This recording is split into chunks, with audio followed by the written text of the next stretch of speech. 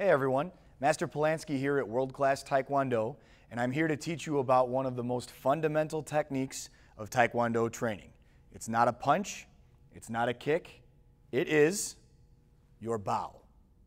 And if you've ever seen martial arts movies, video games, or TV shows, then you'll know that bowing is a big part of the culture that we try to instill in martial arts students.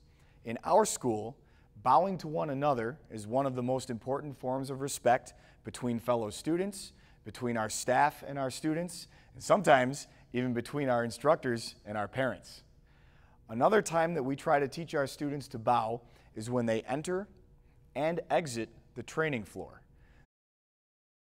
At World Class Taekwondo, like many martial arts schools, we've got flags on the wall, both the American flag and the flag of South Korea, and when students bow on and off the training mat, they're bowing to show respect to the flags on the wall, just like we bow to share respect with one another.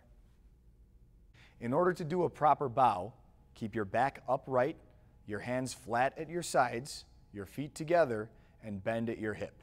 When bowing properly, your eyes should point down toward the floor. Thanks for tuning in, everyone. Don't forget to click down below, give this video a thumbs up, leave a comment, and don't forget to subscribe so you don't miss any of the action or any more Taekwondo tips. See you next time.